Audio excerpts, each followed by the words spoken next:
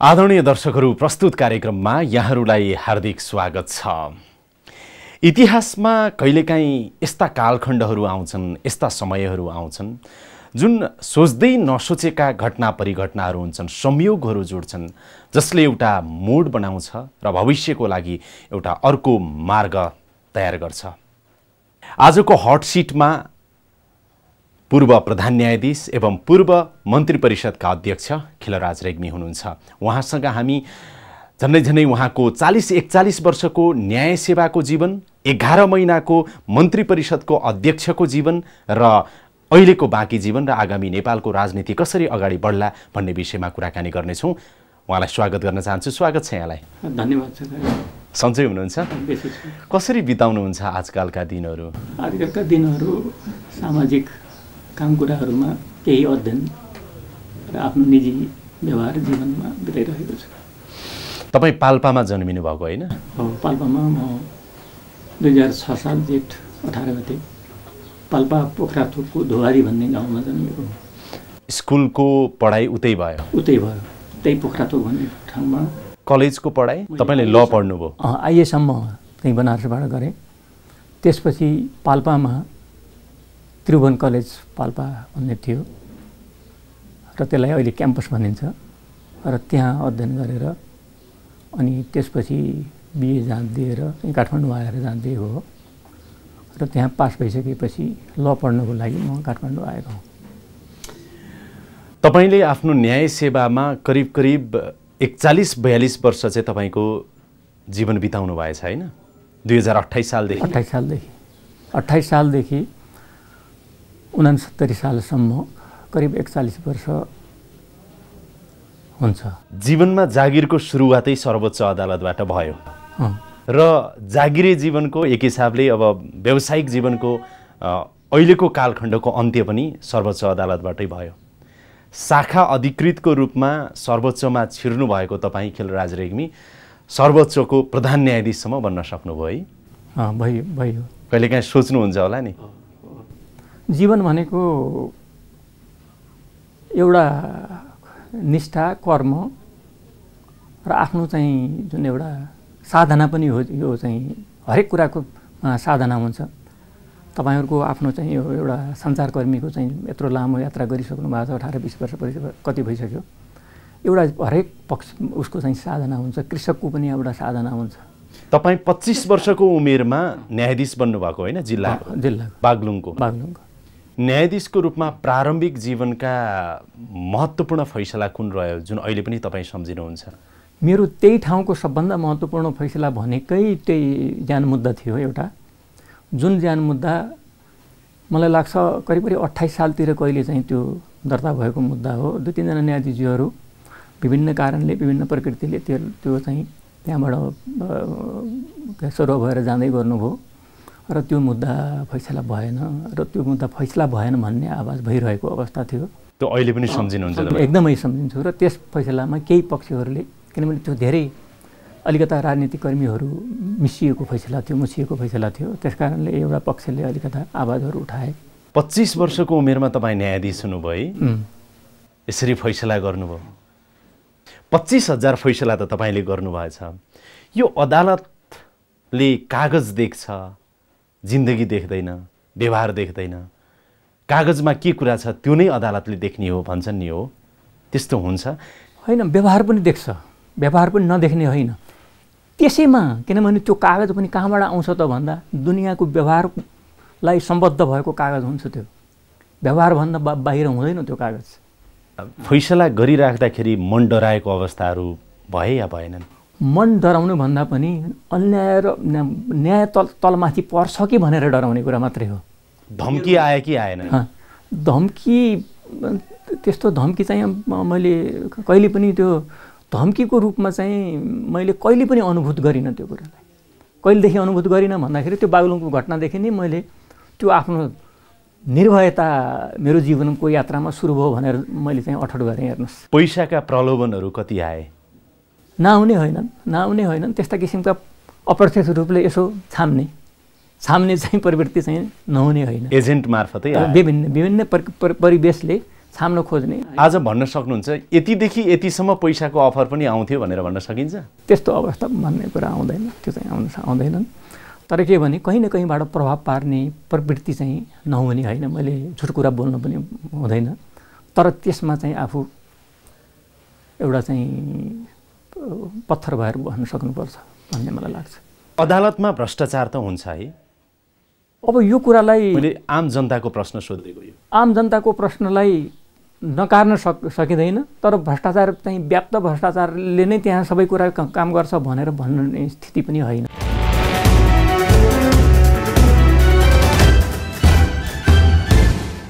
दुई हजार उनसत्तरी साल चैत एक गते तपाईँले प्रधानमन्त्री मन्त्री परिषद अध्यक्षको रूपमा पदभार ग्रहण गर्नुभयो होइन? हो। त्यो दिन आउँछ भन्ने लागेको थियो तपाईँलाई? यो चैत्र एक गते मैले शपथ ग्रहण गरेको मलाई लाग्छ पुस महिनातिरसम्म होला। त्यो कुनै भन्छन् नि साधारण शब्दावलीमा नसुर्ता न सपनाको कुरा।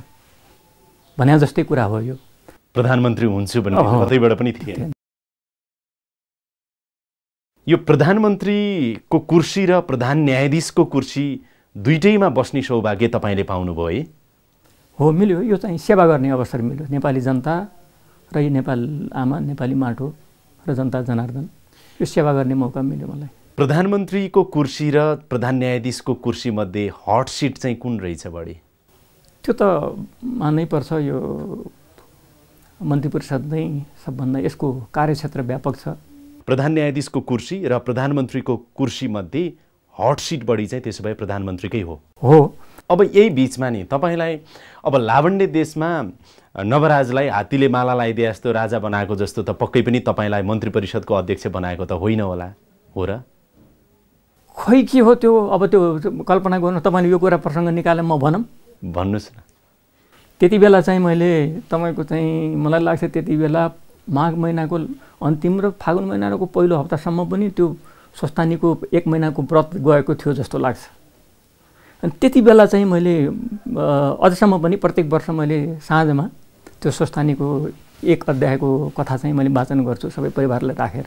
त्यो मेरो धेरै वर्ष अगाडिदेखिको एउटा आफ्नो जीवन पद्धति भइरहेको छ।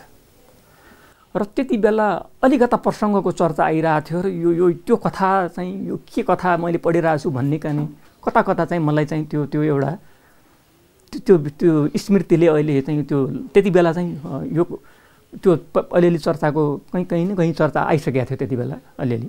चर्चा आएको अवस्था थियो र त्यति बेला चाहिँ मैले त्यो कथा बाँचिरहँदाखेरि होइन यो यो यो घटना र परिघटना के हुने हो यो चाहिँ यो के गर्न यस्तो कुराहरू आइरहेछ भन्ने कुरा म त्यो पढ्दै जाँदाखेरि चाहिँ अलिअलि त्यो चाहिँ म मनमा खेल्न थालेको अवस्था थियो। होइन न बडो एउटा चाहिँ सन्दर्भिक चाहिँ प्रसङ्ग निकाल्नुभयो होइन नवराज चाहिँ लावण्य देशको राजा बन्नु र खिलराज रेग्मी नेपाल भन्ने राष्ट्रको मन्त्री परिषदको अध्यक्ष बन्नु उस्तै त होइन होला नि। उस्तै त अलिकता होइन उस्तै त किन? कसले बनायो त यो चाहिँ यो चाहिँ कुरा यो चाहिँ कुरा के भने एउटा चाहिँ अब त्यति बेलाको भगवान्को चाहिँ आराधना गरेर प्राप्त गरेको कुरा थियो भने मैले चाहिँ आफ्नो एउटा न्याय कसको आराधना गर्नु मैले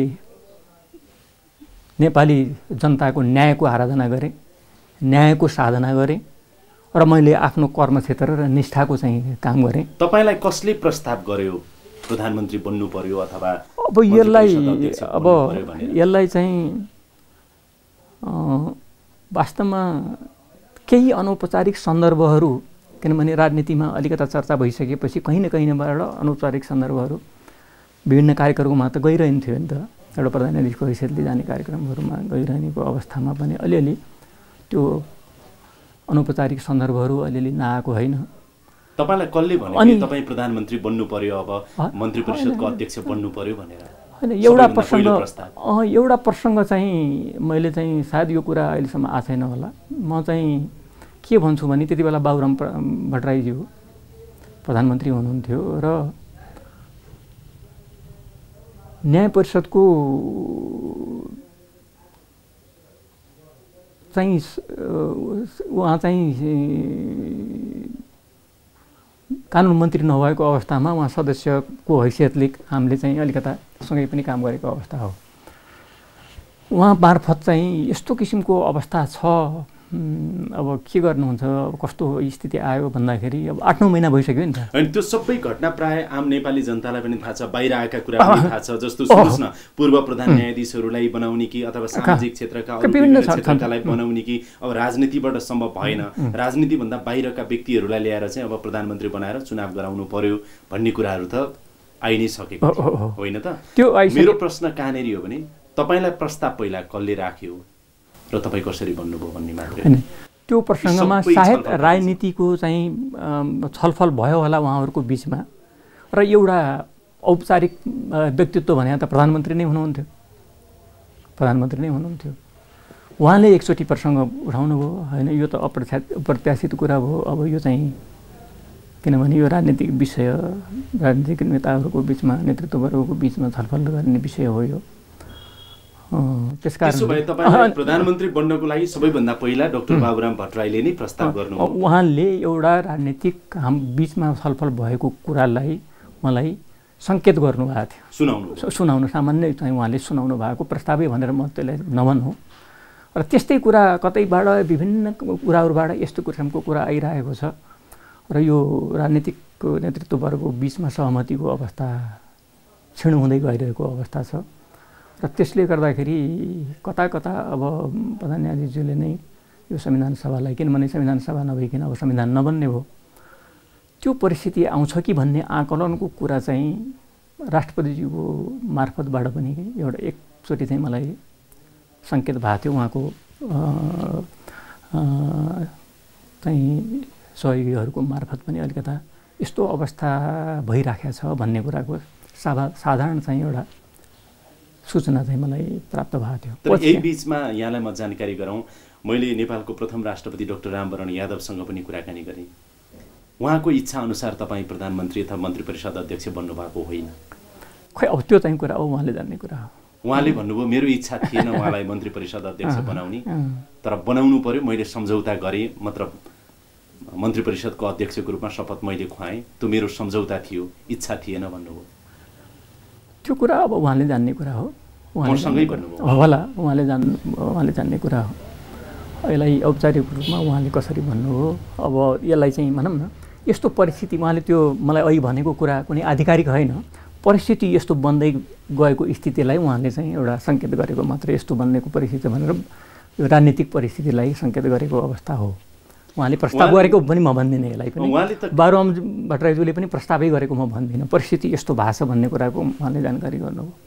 त्यसपछि चाहिँ को कुरा त अब सबै चाहिँ उप भएर छलफल भएर कहिले दुई चारजना मान्छे आउने कहिले चाहिँ अलि अलि समूह भएर आउने दुई तिनचोटि उहाँ राजनीतिक नेतृत्ववर्गसँग एउटा विवाद के भयो भने बारले पनि एक हिसाबले विवाद पछि विरोधै गर्यो। अब भइरहेको प्रधान न्यायाधीश फेरि न्यायपालिकाको प्रमुख कार्यपालिकाको प्रमुख बन्न जाने यो शक्ति पृथकीकरण शक्ति पृथकीकरण शक्ति पृथकीकरण भनेर तपाईँ मन्त्री परिषद अध्यक्ष बन्दा ताका यो खुब चर्चाको विषय बन्यो नि। अहिले कतिले त अहिलेसम्म पनि लेख्न छोड्दैनन् त्यो कुरा। लेख्न त छोड्दैनन् त्यो त लेखिरहन्छ। अप्ठ्यारो पर्छ भन्ने चाहिँ तपाईँलाई लागेन?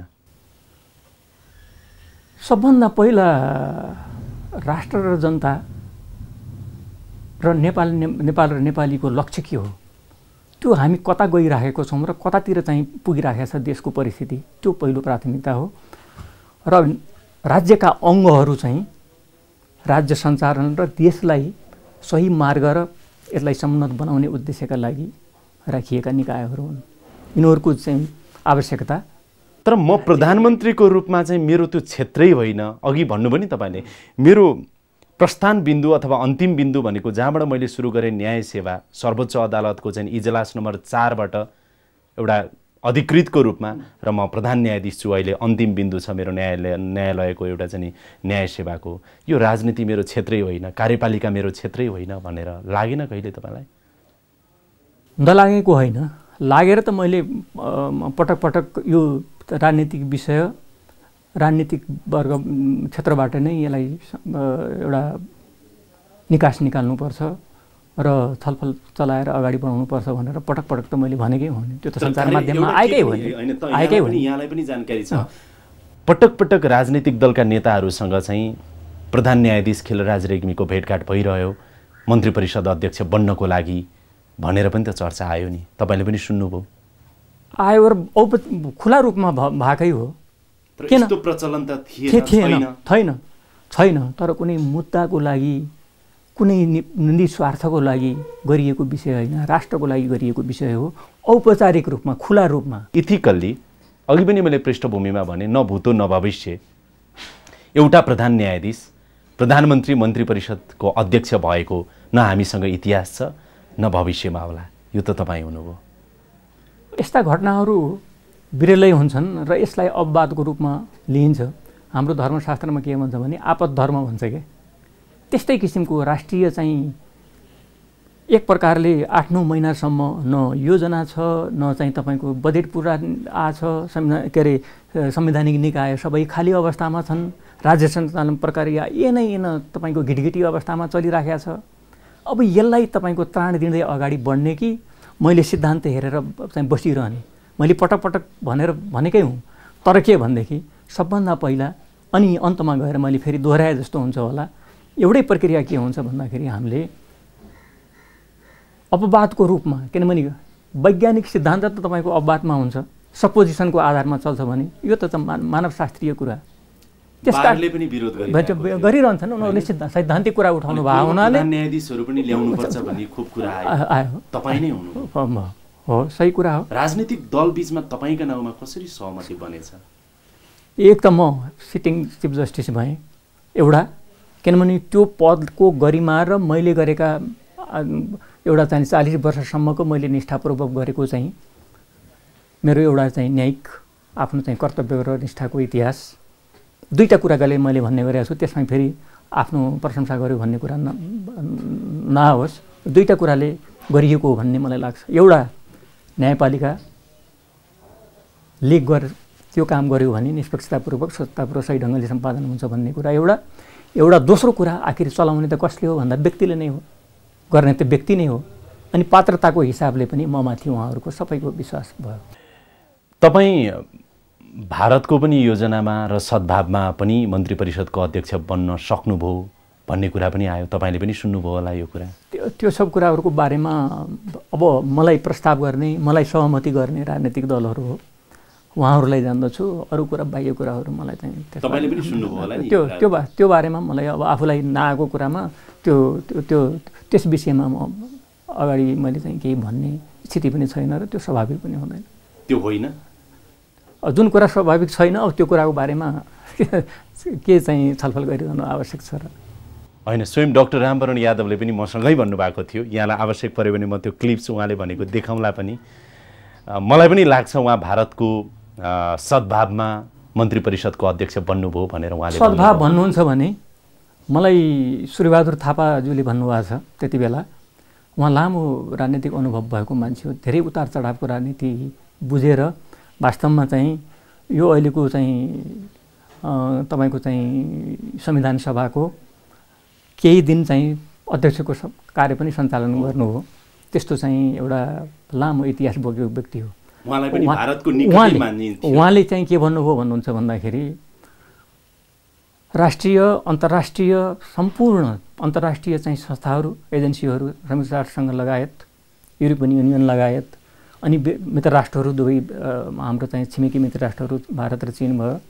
अन्य अमेरिका बेलायत लगायतका सम्पूर्ण राष्ट्रहरूको ओभरवेल्मिङ तपाईँको चाहिँ सपोर्ट यो सरकारलाई जतिको चाहिँ अहिलेसम्मको इतिहासमा अरूलाई भएको चाहिँ मैले अनुभव गरिनँ भनेर उहाँले मसित भन्नुभएको छ।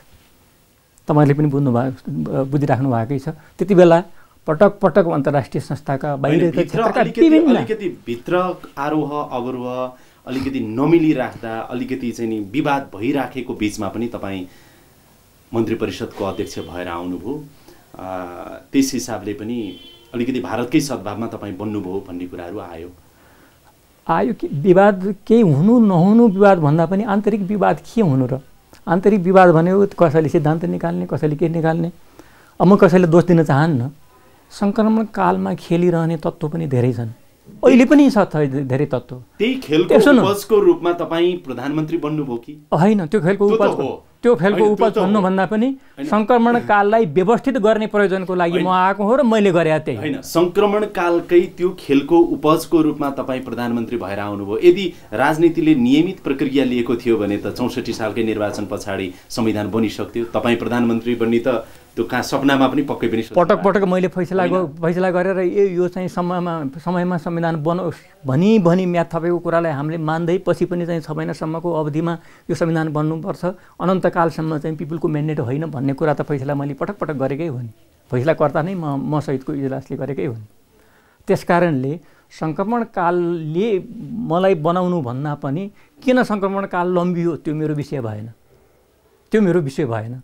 मैले त त्यो संविधान बनोस् भनिरहेको छु फैसलाको मार्फत। भावना पनि त्यही थियो मार्फत पनि त्यही थियो। मलाई त त्यो त्यो कल्पना मै भनेन अघि। मलाई त कुनै कल्पनाको विषय पनि थिएन।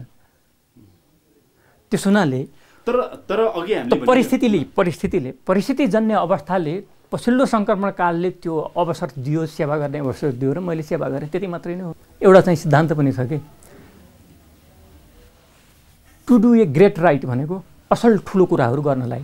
राम्रो कुरा गर्नको लागि लिटिल रङ इज जस्टिफाइड भन्ने छ। यो सेक्सपियरले म्याकबेथमा भनेको कुरा। मैले एउटा फैसलामा पनि लेखेको छु एउटा फैसलामा। भनेपछि असल उद्देश्य सबभन्दा मूल कुरो हो। यी जम्मै सिद्धान्त जन्मेकै असल कुरा कामको लागि। खराब काम नहोस् भन्नको लागि सिद्ध- सिद्धान्तको जन्म छ हेर्नुहोस्।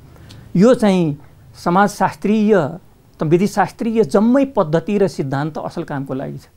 मैले चाहिँ पटक पटक चाहिँ तपाईँको विभिन्न कोणमा छलफलमा पनि भनेको छु। कुनै ठाउँमा चाहिँ तपाईँको सिभिल वारको विषय अवस्थामा बन्दी प्रशिक्षणको रिट निवेदनसम्म त्यसलाई समेत सस्पेन्ड गरिएको छ। के को लागि? देश बचाउनको लागि। संविधान सभाको दोस्रो निर्वाचन तपाईँले मन्त्री परिषदको अध्यक्षको रूपमा तपाईँको सरकार भएको पालामा गर्नुभयो। उन्नाइसवटा राजनीतिक दलहरू आन्दोलनमा थिए। मधेसवादी मोहन वैद्य लगायतका दलहरू आन्दोलनमा थिए। ती सबैका बिचमा चुनाव शान्तिपूर्ण रूपमै सम्पन्न भयो जसको जगमा आज हामी गणतन्त्र कार्यान्वयन संविधान कार्यान्वयनको बाटोतिर अगाडि बढिरहेका छौँ। होइन त? त्यसमा पनि मैले तपाईँलाई जोड दिएर भन्न चाहन्छु कि सबभन्दा बढी हेर्नुपर्छ हामीले भन्दाखेरि एजेन्डा के हो? राजनीतिमा मैले त्यति बेला एघार महिनामा मैले जति यो राजनीतिक कोर्सलाई अध्ययन गर्ने मौका पाएँ र अहिले पछिल्लो पिरियडमा पनि मलाई बढी चासो संविधान अनि यो समस्या किन भइरहेको छ भन्ने बारेमा धेरै कतिपय किताबहरू पनि अध्ययन गरेँ। र त्यसमध्ये मैले उल्लेखनीयमा उल्लेख गर्न चाहन्छु सार्वजनिक रूपमा वाइ नेसन फेल्स भन्ने चाहिँ जुन एउटा किताब छ त्यसले एउटा विभिन्न राष्ट्रहरूमा कसरी यो द्वन्द्व भएकोलाई व्यवस्थापन गर्दै लैजाने र त्यसमा कस्ता कस्ता समस्या आउँछ र कसरी सम्बोधन गर्नुपर्छ भन्ने कुरा त्यसले धेरै कुराहरू दिन्छ त्यो चाहिँ एउटा अनुभव दिन्छ त्यसले। मैले त्यो पनि अहिले पछिल्लो पिरियडमा अध्ययन गरेँ। त्यसले गर्दाखेरि सबभन्दा बढी विचार गर्नुपर्ने कुरा के छ भने कुनै पनि असन्तुष्टिको पछाडि एजेन्डा के छ? र यो चाहिँ एउटा त्यसको चाहिँ एउटा जनताको कहीँ त्यसको चाहिँ पछाडि जनता कति छन्? र जनताको आवाज त्यसले चाहिँ मुखरित गर्न खोजेको छ कि छैन? र त्यसले हामीले सम्बोधन गर्नुपर्ने हो कि होइन? यो कुरा छुट्याएर अगाडि बढ्न सक्दाखेरि नै सबभन्दा मूलभूत कुरा हो महत्त्वपूर्ण लाग्छ भन्ने मलाई लाग्छ। एघार महिनाको मन्त्री परिषदको अध्यक्षको रूपमा रहेको कार्यकाल कस्तो रह्यो? बहुतै चुनौतीपूर्ण र अत्यन्त सङ्क्रमणको एउटा तरलताको चाहिँ अवस्था हो। किनभने संविधान सभा थिएन संविधान सभा बनाउनु छ निकाय नै छैन। जहाँ राजनीति र संविधान बनाउने चाहिँ व्यवस्थापकीय ऊ नै छैन। त्यसमा केही दलहरू चाहिँ के अरे विमति राखेर चाहिँ आन्दोलनमा हुनुहुन्छ। र अन्तर्राष्ट्रिय जगतलाई पनि विश्वास दिलाउनु छ। अन्तर्राष्ट्रिय जगतलाई पनि विश्वास दिलाउनु एउटा श्रीमान भएर फैसला गरिरहेको अथवा न्याय सम्पादन हेरिरहेको न्याय प्रशासन प्रधान न्यायाधीशको रूपमा नै कतै न कतै हेरिरहेको एउटा व्यक्तित्व एकाएक प्रधानमन्त्रीको रूपमा त्यो सिंहदरबारको चाहिँ नि प्रधानमन्त्रीको कुर्सीमा बसिराख्दाखेरि त्यहाँ त पोलिटिकल कल्चर पनि हुनु पऱ्यो त्यत्तिकै। सायद त्यसबाट त तपाईँ हुर्किनु भएको थिएन होइन? गाह्रो भयो होला नि। म तपाईँलाई बताउँछु मैले शपथ ग्रहण गरिसकेर आइसकेपछि अनि मन्त्रीहरू नियुक्ति भए उहाँहरू चाहिँ मुख्य सचिव भइसकेको व्यक्ति र त्यसपछि विभिन्न मन्त्रालय चलाएका सचिवहरूमाबाट लिने चाहिँ जुन थियो त्यो राजनीतिक दलसँग प्रत्यक्ष आबद्ध नभएका व्यक्तिहरू राख्ने जुन हाम्रो चाहिँ समझदारी भयो र त्यो अनुसार मैले चाहिँ नियुक्ति गरेँ। र त्यसपछि केही प्रक्रियागत कुराहरू र अनुभवको सेयरिङ गर्नको लागि उहाँहरूबाट मलाई ठुलै सहयोग भयो। र त्यसपछि मलाई यसो चिन्तन गरेँ आफै मेरो विवेकले मैले चिन्तन गरेँ। मैले यो एउटा कुरा त मलाई बताऊँ कि यो खप्तर स्वामीको विचार विज्ञान मैले बयालिस त्रिचालिस सालदेखि पटक पटक पढ्दै गएको कुरा हो। त्यसबाट धेरै म प्रेरित पनि छु र त्यसले चाहिँ एउटा महत्त्वपूर्ण त्यसले चाहिँ एउटा आत्मबल र विश्वास र एउटा चाहिँ उद्दिन्छ भिजन दिन्छ। हाउ टु डु भन्ने खालको एउटा दृष्टि चाहिँ बनाउनलाई चाहिँ एउटा चाहिँ एउटा चाहिँ एउटा प्रेरित गर्छ भन्ने मलाई लाग्छ। अनि त्यसपछि अनि मैले आफैलाई यसो विचार गरेँ मैले के गर्ने त अब? अब यी राजनीतिक दलहरूसँग र राजनीतिक नेतृत्व वर्गसँगबाट नै मैले अन्तर्क्रिया गरेर म अगाडि बढ्नुपर्ने परिस्थितिको परिवेशमा म आइपुगेको छु। भनेपछि अनि मैले सबै चाहिँ दलका माथिल्लो स्तरका सभापति अनि दोस्रो तहका वही प्रधानमन्त्री भइसकेका सबै व्यक्तिहरूसँग चाहिँ एक दिनमा दुईजना तिनजना दुईजना तिनजनाको दरले चाहिँ मैले सबैसँग खुला रूपमा चाहिँ उहाँहरूसँग चाहिँ अन्तर्क्रिया गरेँ। अनि अनि उहाँहरूसँग चाहिँ मैले सुझाव लिँदै गएँ।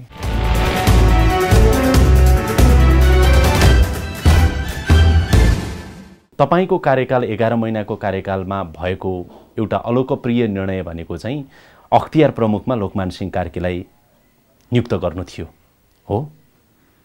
त्यो अलोकप्रिय निर्णय भन्नुभन्दा पनि एउटा कुरा यो पछिल्लो पिरियडको जुन घटनाचक्रले जुन पछिल्लो पिरियडको घटनाचक्र उहाँको चाहिँ तपाईँको चाहिँ के अरे महाभियोगको प्रस्तावको बिन्दुमा आइपुग्दाखेरिको चक्रमा यो कुराको प्रसङ्ग आयो।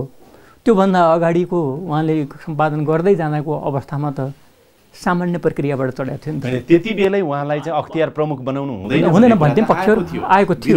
थियो। थियो थियो तर किन तर एउटा कुरा के छ भन्नुहुन्छ भन्दाखेरि त्यो बाधा अड्काउ फुकाउ जुन आदेश छ नि त्यो आदेशमै संवैधानिक नियुक्तिहरू राजनैतिक सहमतिमा गर्ने भन्ने थियो।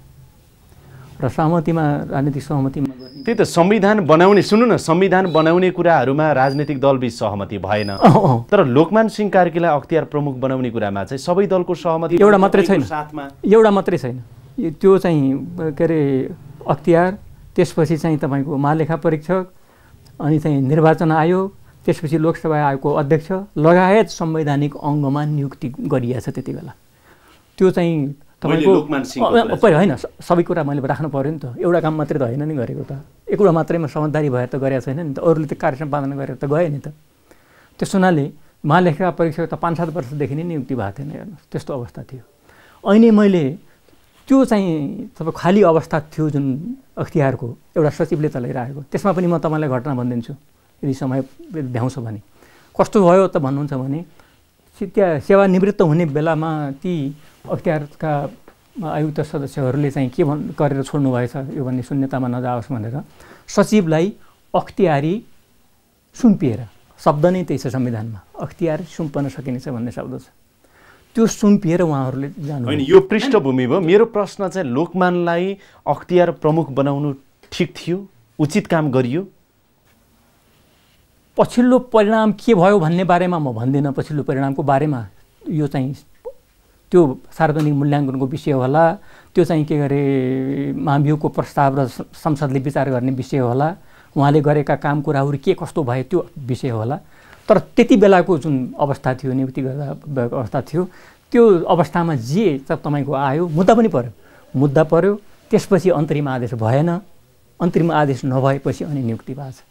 त्यस हुनाले एउटा चाहिँ मैले भन्न खोजेको मैले भन्न खोजेको के भने त्यो अख्तियार वर्षौँदेखि खाली थियो। रकट होइन अरू कसैलाई पनि त बनाउन सकिन्थ्यो नि। जस्तो विरोधका बिचमा खिलराज रेग्मीले को जबरजस्त प्रस्तावमा लोकमान सिंह कार्कीलाई अख्तियार दुरुपयोग अनुसन्धान आयोगको प्रमुख आयुक्त बनाइयो। होइन यहाँ यहीँनिर छ कुरा।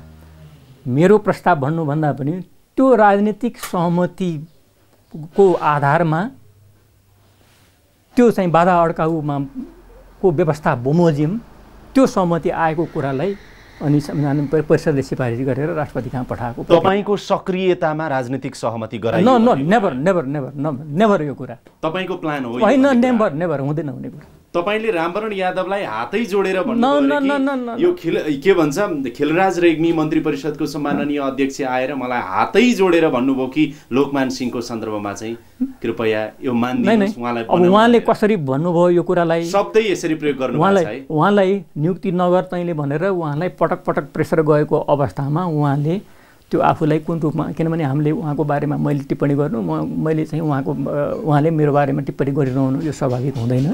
स्वाभाविक हुँदैन त्यतापट्टि नजाउँ र रियल कुरा के हो? यही प्रश्न सोधेँ कि। तपाईँले राष्ट्रपतिको रूपमा यत्रो बाहिर विरोध हुँदा हुँदै किन लोकमान सिंह कार्कीलाई चाहिँ नि प्रमुख आयुक्त बनाउनु भयो अख्तियारको भनेर सोद्धाखेरि उहाँले के भन्नुभयो भने खिलराजी आएर हातै जोडेर भन्नुभयो कि मलाई? नेभर जसरी मैले पनि बनाइदिनु। मैले सिफारिस गर्ने कुरा मैले सिफारिस गरेँ। बाँकी जिम्मेवारी राष्ट्रपतिजीको हो भने हो मैले। के मैले हात जोडेर कसैलाई बनाउनु पर्ने आधार? के छ र न मेरो कुनै नाता हो? मैले त्यो कुनै कर्म हो? तपाईँबाटै स्पष्ट हुन चाहेको कि बाहिर केसम्म हल्ला आयो भने अहिले पनि आइरहेको छ भनेदेखि खेलराज रेग्मीलाई भारतले प्रधानमन्त्री बनाएको हो। र अब लोकमान सिंह कार्कीलाई पनि अख्तियार प्रमुख भारतले नै बनाउन चाहिरहेको हो। त्यसैको प्रतिफल स्वरूप चाहिँ खेलराज रेग्मीले जबरजस्त रूपमा चाहिँ राजनीतिक दलहरू बिचमा सहमति गराएर लोकमानलाई अख्तियारको प्रमुख बनाउनु भयो। राजनीतिक सहमति गर्नुभयो। राजनीतिक सहमति गराउने गराउँदै हिँड्नुपर्ने सबैलाई चाहिँ बोलाएर लो फलाउनुपर्छ भनेर भन्ने कुरा मैले कुनै पनि हालतमा गरेका छैन। त्यो चाहिँ त्यो त्यो यो चाहिँ एकदमै बेसलेस कुरा आधारहीन कुरा।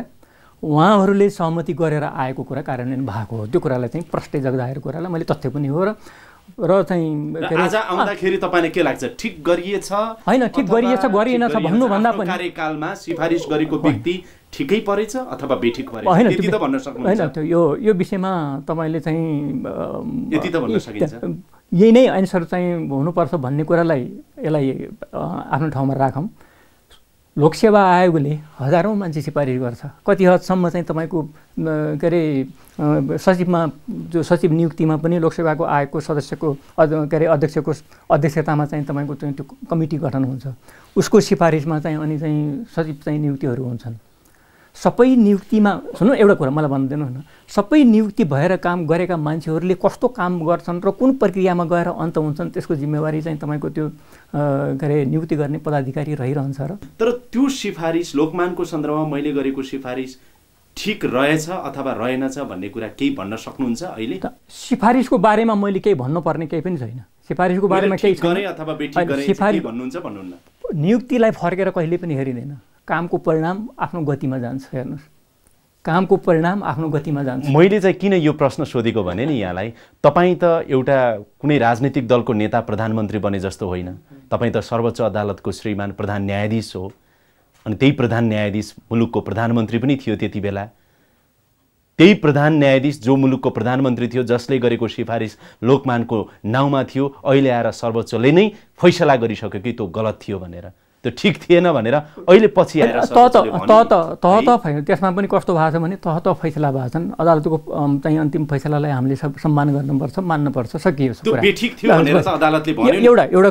म म म यसलाई यसलाई पनि भन्छु जुन अदालतले अन्तरिम आदेश सिङ्गल बेन्चबाट अन्तरिम आदेश भएन अन्तरिम आदेशको माग गरेर मुद्दा परिसकेपछि अन्तरिम आदेश भएन र हामीले सिफारिस गरियो त्यसपछि त्यो मुद्दा डिभिजन बेन्चमा गइसकेपछि डिभिजन बेन्चले रिट खारेज भयो। अनि अहिले तिनजना न्यायाधीश सायद तिनजना न्यायाधीशको चाहिँ फुल बेन्चमा गइसकेपछि बदर हो। यी जम्मै कुरा न्यायिक प्रक्रियाका कुरा हो।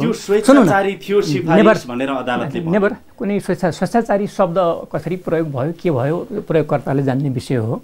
र यस्ता एउटा होइन सोचेको है होइन सुन्नु मैले। सुन्नु सुन्नुहोस्। एउटा दुइटा कुरा म इक्जाम्पल त्यो अरूलाई फेरि इक्जाम्पल दिँदै हिँड्यो भन्न पनि सुहाउँदैन अब अस्ति भर्खरै के अरे प्रधान न्यायाधीशज्यूले गरेको निर्णय बदर भयो अस्ति भर्खर हो कि होइन भन्नुहोस् त?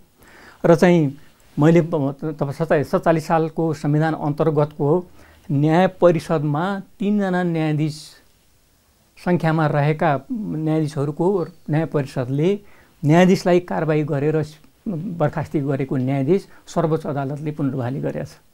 भन्दाखेरि न्यायिक प्रक्रियामा मैले गरेका डिभिजन बेन्चले गरेका फैसलाहरू फुल बेन्चले चाहिँ बदर गरेका अवस्थाहरू छन्। त्यस हुनाले सरकारका निर्णयहरू कतिपय चाहिँ अवस्थामा बजार भएको छन्। एकचोटि संवैधानिक परिषदको तपाईँको चौबिस घन्टाको के के अडचालिस घन्टा के समयको इत्यादिको कारणले पनि प्रक्रिया पुगेन भनेर तपाईँको चाहिँ प्राइमेफेसी चाहिँ तपाईँको यो चाहिँ प्रक्रिया चाहिँ नपुगेको भनेर पनि भएको छ। त्यस हुनाले यो प्रक्रियागत कुरामा न्यायिक प्रक्रियामा चरण चरण रूपमा हुने फैसलाहरू आफ्नो ठाउँमा हुन्छन्। तपाईँको फैसला मैले यहाँलाई विनम्र निवेदन के गर्न चाहेको भने तपाईँले गर्नुभएको सिफारिसलाई अन्ततगत तपाईँ त प्रधान न्यायाधीश प्रधानमन्त्रीकै दुइटै एउटा एक हिसाबमा हुनुहुन्थ्यो। यस्तो व्यक्ति खेलराज रेग्मीले गरेको सिफारिस अहिले आएर बेठिकै गरेछु भन्ने पो लागिरहेछ कि? किनभने सर्वोच्चले नै अहिले नै तपाईँलाई त्यो स्वेच्छाचारी गलत भयो त्यो ठिक भएन भनेर त अहिले पछिल्लो समयमै फैसला गर्यो तपाईँले चाहिँ के लाग्यो भनेर सबै होइन सबै निर्णयहरू प्रशस्त निर्णयहरू प्रशस्त कालखण्डमा तल्लो अदालतले गरेका फैसलाहरू माथिल्लो अदालतले बदर गरिदिन्छ। डिभिजन बेन्चले गरेको कुरा फैसला तपाईँको चाहिँ फुल बेन्चले बदर बदर गरिदिन्छ। सरकारले गरेका निर्णयहरू प्रशस्त चाहिँ बदर हुन्छन्। यो फैसला गलत थियो फैसला गलत थियो भनेर कसरी भन्न मिल्छ? मिल्दै मिल्दैन। मिल्दै मिल्दैन गलत गल्ती आफूले गरिएछ भन्न सकिन्छ। होइन गलत त तपाईँको हो प्रधानमन्त्रीको अदालतले अदालतले चाहिँ तपाईँको फैसला गरिसकेपछि त्यसलाई मान्नपर्छ सकियो गलत भएछ। त्यो कुरालाई सकियो। अदालतले अदालतले भनिदियो सकियो फिनिस त्यसलाई त्यसलाई मान्नुहोस्।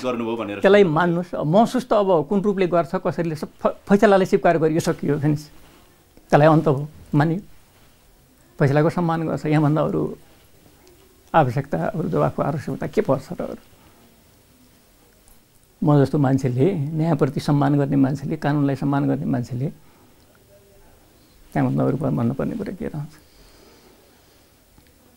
प्रधान न्यायाधीश र प्रधानमन्त्रीको रूपमा तपाईँ रहनुभयो। आम जनतालाई एकचोटि बताइदिनुहोस् न। यो मुलुकमा बाह्य हस्तक्षेप चाहिँ बेला बेलामा हुन्छ है। तपाईँले महसुस गर्नुभयो? यो चाहिँ एउटा अल्प विकसित राष्ट्र अरूबाट सहायता लिने पर्ने राष्ट्रहरू को कारणले गर्दाखेरि विभिन्न किसिमका कुराहरू त्यो जोडिएर आउने विषयले चाहिँ नआउने होइनन्।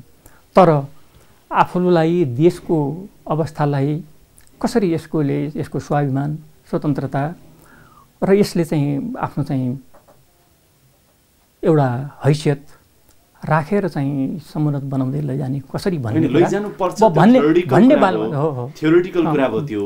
तर मैले सोध्न खोजेको चाहिँ अनुभव के गर्नुभयो? तपाईँ त झन्डै दस वर्ष त सर्वोच्च अदालतमा बस्नुभयो। एघार महिना सिंहदरबारमा बस्नुभयो प्रधानमन्त्रीको रूपमा। बाह्य हस्तक्षेप चाहिँ होइन केही अनुभव छैन मलाई। ठ्याक्कै पटक्कै अनुभव छैन नेभर हस्तक्षेपको अनुभव छैन। ल के कुरामा कहाँनिर ल त भन्नु न कहीँ चर्चा आउनु न अनुभव भन्ने कुरा त तपाईँको होइन होइन कहीँ कुनै घटनाक्रमले बताउन सक्नु पऱ्यो नि त। कुनै घटना हो कुनै घटनाक्रमले त्यो परिवेश होइन यो कुरा चाहिँ तपाईँले भनेको बाह्य हस्तक्षेप नेपालमा छ या छैन तपाईँले अनुभव गर्नु भए मैले गरिनँ भन्नुभयो। त्यो समीक्षा गर्ने जिम्मा चाहिँ जनतालाई दिनु पत्याउने अथवा नपत्याउने। त्यो कुरा उनीहरूले बुझ्नु अब त्यो चाहिँ सबैले समीक्षा गरे हुन्छ। तपाईँले संविधान सभाको दोस्रो चरण दोस्रो निर्वाचन गर्नुभयो जसको जगमा संविधान बन्यो र अहिले संविधान कार्यान्वयनको लागि हामी स्थानीय तहको प्रदेशको र सङ्घको केन्द्रको चुनाव गर्न गइरहेका छौँ।